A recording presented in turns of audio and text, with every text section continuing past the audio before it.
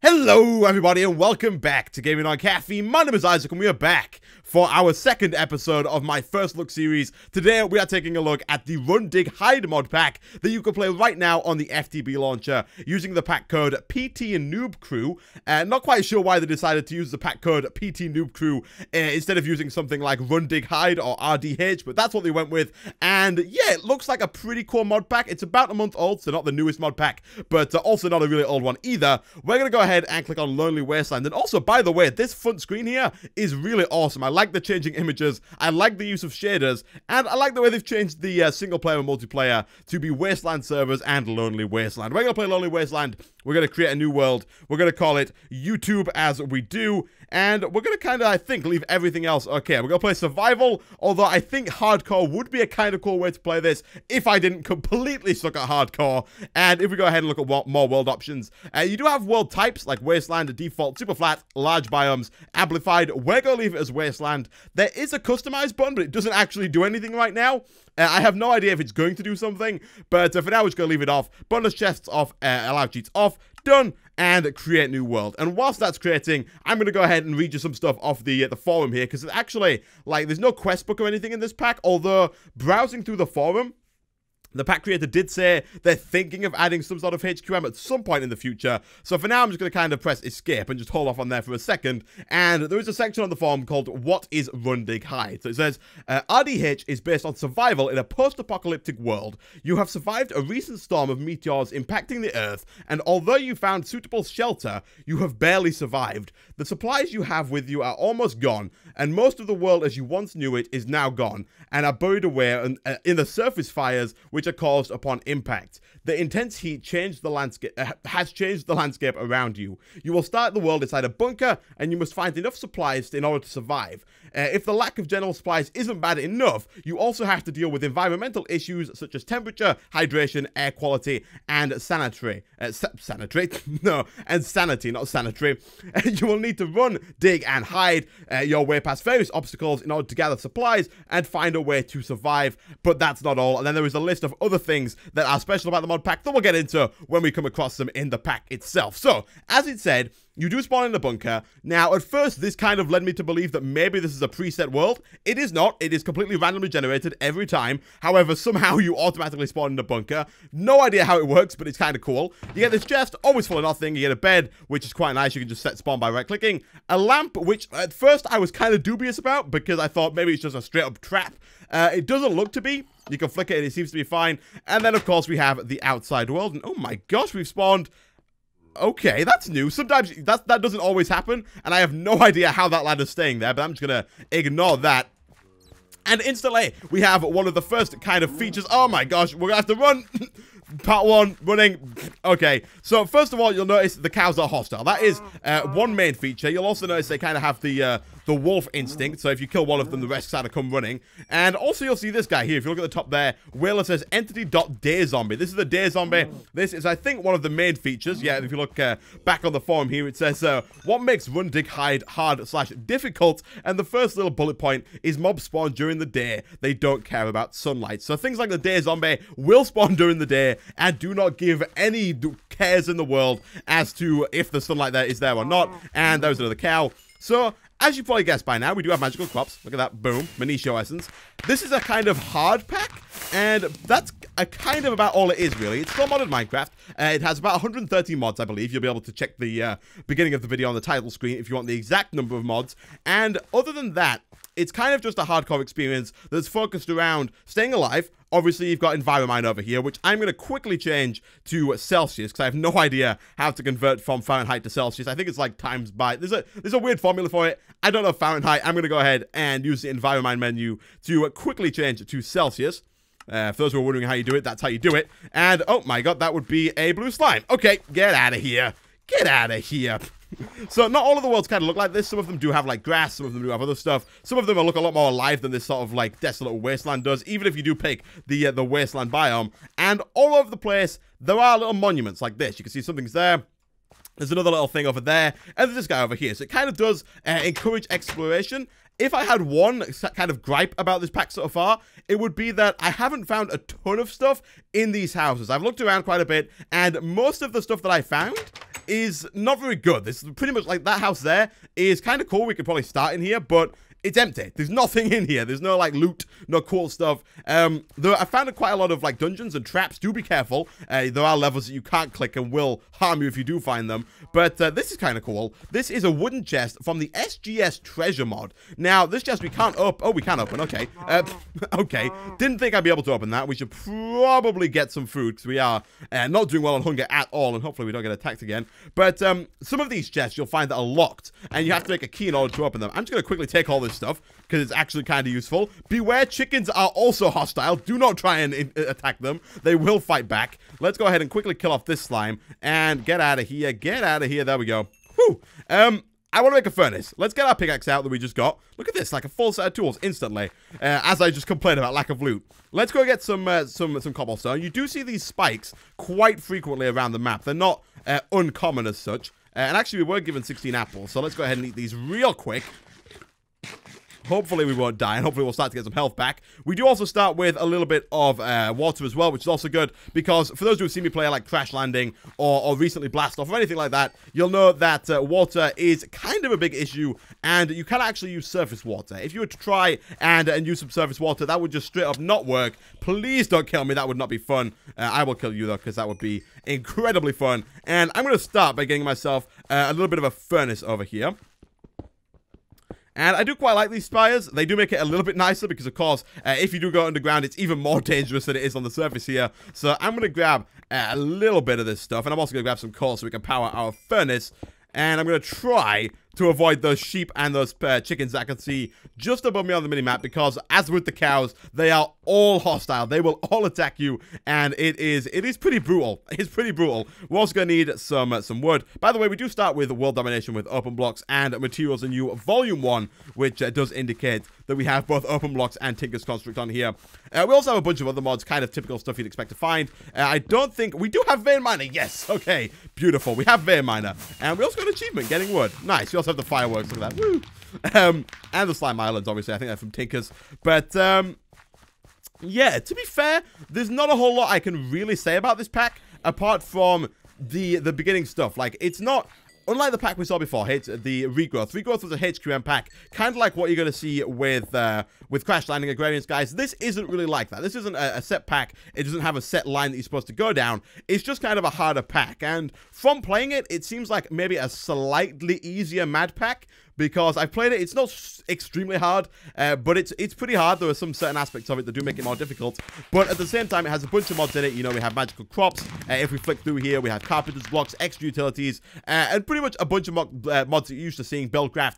So it's really just a big mod pack that's been given a difficult edge. You know, mob spawn in the day, uh, stuff's harder to get, normal creatures attack you, you have to balance Enviromine. By the way, I'm not a huge fan of the, the default uh, Enviromine layout over here on the left. If I was to uh, to uh, go ahead and go to video options, I believe we can change the bar positions. I kind of like to to have them sort of maybe down here or up here or nicely spread out a little bit like so. You can you can put these wherever you want, by the way, just dragging around. And you can also go ahead and change them from horizontal to vertical if you so wish. But uh, the top one there is temperature, then uh, water levels, then sanity, and then air levels. I'm assuming that uh, if we were to go down into some of the mines, we would probably start to lose our air levels. And I'm not quite sure if the gas mod is in here.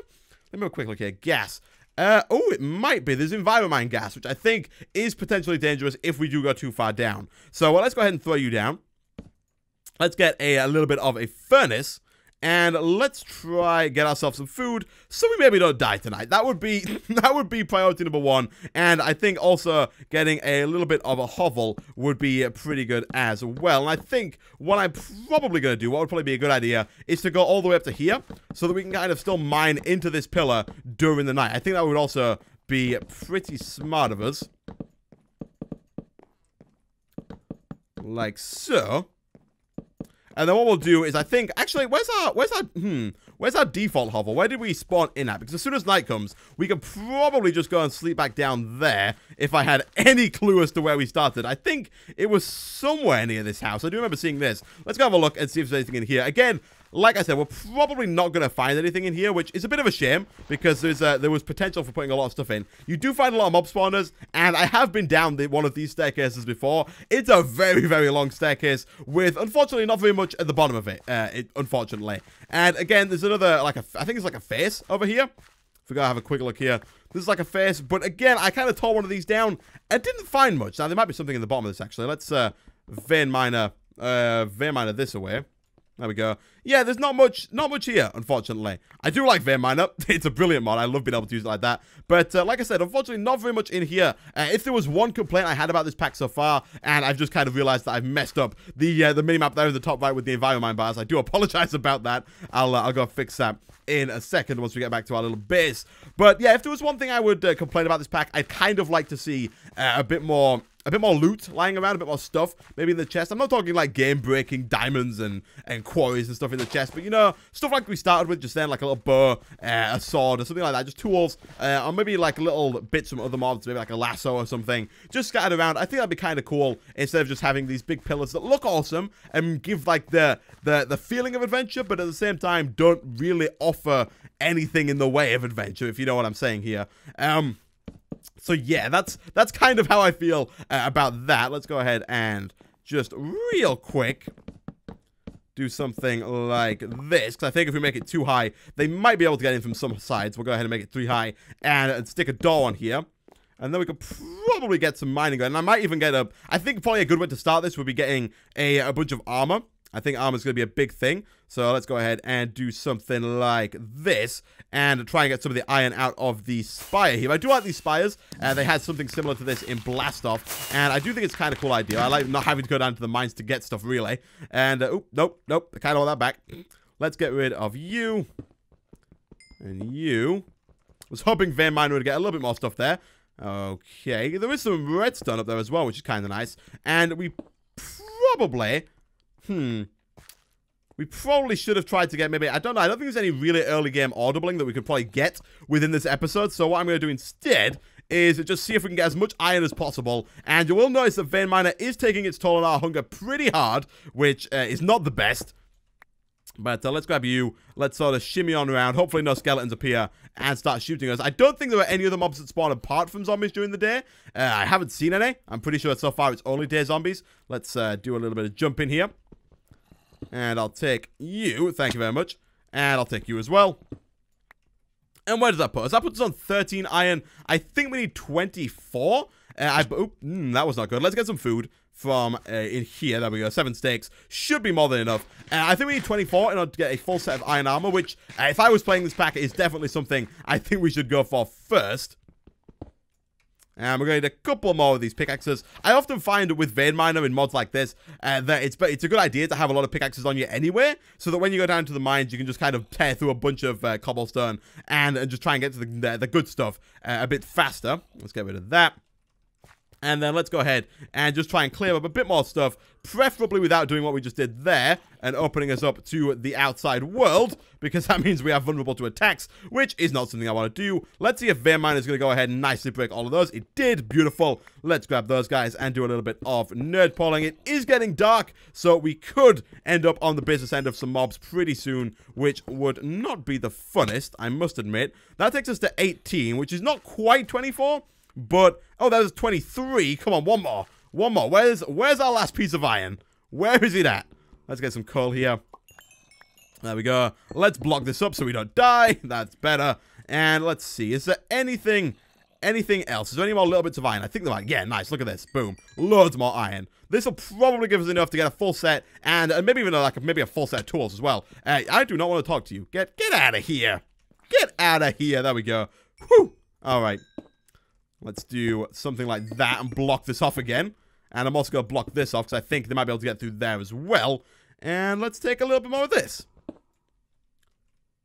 Do we have space? There we go, nine more. Nice. Okay, that is definitely enough to get us four sets of armor and everything else. Do we need another furnace or two? I think we do. Let's go ahead and do something like that. And why not? You know, let's just go. Let's go ahead and get 12 furnaces. Sure. Sounds like a brilliant idea. Boom, boom, boom. We'll speed up the process uh, indefinitely. Let's go and throw like half of you in there. And half of you in there. And I'll take some mod out of here and throw you in there. And then we should be good to go. That's going to go ahead and cook all that stuff up. And we should be able to protect ourselves. Let's see. Do we have any more coal? Five, eleven. We'll take some out of there. That should be should be more than fine. And then let's have a little bit of a chest uh, so we can kind of dump all this stuff around. I don't want to be holding onto all of this for the longest time. Uh, as far as I can tell, I don't think there have been any tweaks to the recipes. Uh, I know a lot of packs, kind of like the Mad Pack and and some of the packs I've been playing recently, I've done a lot of tweaking. And usually my first test to see if a pack is actually tweaking any of the recipes is to go and type in the Buildcraft, uh, the Buildcraft Quarry. If you type in Quarry and click on that, usually if someone's going to tweak a recipe, they start with the Quarry because the Quarry uh, is kind of seen, I don't know if it seemed to be overpowered or seemed to be just like something that everyone goes for. But uh, the quarry is definitely one that people go towards first and uh, try and change that. So if you want to see if recipes have, uh, have been changed, try that out first. I, that not an official rule there. Not everyone has to change the recipes for a quarry, but uh, usually if they are changing recipes, like in Blood and Bones and stuff like that, then they probably will have changed the recipe for a quarry. Uh, I think we are using default stuff for MFR, like default recipes. Yeah, it doesn't look like we're using the thermal expansion ones, which is pretty nice. Uh, let's go ahead and grab a bunch of our iron here. Look how fast all this stuff smelted up. It is absolutely beautiful. And we'll let that finish up in there. And then we should be able to get ourselves a full set of iron armor, which is pretty nice. I like that. Usually, you have to do a lot more mining in order to get to this stage. I like the fact that you can kind of do this a bit early on. Uh, it does kind of decrease the challenge a little bit, you know, having uh, all of the iron up here, but I think it's kind of nice. It, it frustrates me a little bit sometimes when I'm playing packs like the Mad Pack, and whenever I try and do anything, I just die due to my lack of armor instantly, even when you try and mine, which, again, does kind of bump up the pack, like, difficulty, but if you're someone like me who just is terrible at pack difficulty in every sense, then this might be for you, you know? Let's go ahead and make ourselves a sword. I think that's a good idea. And then we'll also make like a pickaxe and, and call it a day. There we go. There we go. And I don't think we need any more of these either. By the way, for those who don't know, if you have a, uh, a chest within the radius of uh, the uh, the crafting station, it will connect up. I thought it used to be just be, it had to be touching it, but apparently this class is touching, so they've gone ahead and hooked up there. And I think it's actually given us the access to the full double chest as well, which is, it's pretty nice. It's pretty nice. Now, I was going to aim to make all of these... Oh, oh, no, no, no, no, no, no, no, no, no. Not what I wanted to see, but luckily we didn't die, which is quite nice. Uh, what I was going to say is I was going to try and make all of these, like, first look videos about 30 minutes in length. But unfortunately, this is a pack that it doesn't really require much explaining, to be fair. We do have the... um the ah, what are the mods called now? Let me find it. Infernal mobs. Uh, that is another one on the list of what makes Run Dig Hide hard slash different. Uh, I'll read through some of these real quick. It says Environment Mine requires you to keep an eye on temperature, hydration, air quality, and sanity. The world generation requires you to travel in order to survive, lack of water and food, etc. Certain mobs may spawn with special abilities, the infernal mobs, like this little creeper that we can see. I think it's a creeper over there, out in the distance. That might be like a dirt creeper or something. Um, rewards are out there, but come at some risk. Uh, there are certain things, there are different little bunkers that you can find if you go and explore that have like tripwires in them. I did find a couple of those. Uh, let's, uh, let's, hmm. Okay, let me, let me really quick see if I can show some stuff here. Uh, as you can see, there's like a spider over there wearing a bandana, which uh, looks awfully fun. Let's try. Let's get killed by the zombies. And we're going to keep going. I'm fairly certain if we can make our way right down to the bottom of here, it is going to be pretty dark, but I think there's like a little set of traps down here that I can kind of show off. And are, I'm assuming that there are more bunkers and stuff that you can find that have this sort of thing rounded about. Do watch out if you're going to play. There are there are some rewards, but there are some risks alongside it. But again, like I said, one of my main gripes, I've been through this, I've gone down to the bottom, I've managed to survive some of the traps, and then the, the rewards are just kind of junk, you know? And what I was going to say earlier is I'd like to make this, uh, these series as, oh my gosh, my, Main's Auric Shoes? What? This is like the world's strongest zombie. Well, pfft. we can't sleep. No, it's actually like a real bed. Can we just not sleep in this pack? Well, apparently that's the thing. Apparently, no sleep in in in, in the hard packs. Okay, that's fair enough. Uh, let's try. I'm gonna try and make my way back to this little house that we made. Jeez. Um. But yeah, this this pack is is just a hard pack. It's a, a normal sort of like uh, quote unquote uh, feed the beast of using the term kitchen sink which basically means like uh, a lot of mods thrown together and uh, just play what you will. I'd kind of say it's one of those, it's a kitchen sink pack. You can just play what you want, but it's added an element of difficulty. You have to kind of watch out for environment mine. You can travel around, you can explore if you want. There is some reward for it. You can see on the minimap there, if you look right at the bottom now, like below all of the bars I messed up, there is a meteor there. I believe that's an A meteor that you can use to get some of your uh, your presses for your inscriber press and stuff like that. But to be fair, there's not much else I can I can say on this pack apart from the fact that these zombies are absolutely horrible and I'm gonna die again. So yeah, ah, no, this, um, it's because I set that thing up, didn't I? I set up the. I'm gonna die. I set up the little block so I can climb over, and they climbed over with me. Ah! But uh, yeah, there's not much else I can say about this. If you're looking for a bit of a challenge, as well as a really awesome mod pack that you can play with a ton of mods, and you just have to something that's like a little bit harder than your typical like Direwolf 20 or mod source, uh, then go for it. Run Hide, you can get it right now on the it, on the Feed the Beast launcher using the pack code uh, PT Noob Crew. Make sure you go to third parties tab, scroll all the way down to the bottom. It will be there. Uh, in the future, I may cover a couple of packs like this that are just kind of uh, normal mod packs with a bit of a twist, but for the most part, I'll probably stick to trying to do things like HQM packs and packs that have something significant that we can do in the first 30 minutes. But uh, anyway, if you enjoyed the video, be sure to hit like. If you want to see more first look videos uh, of this nature, be sure to hit that like button, and I will see you guys next time. Bye-bye. Get out of here. There we go.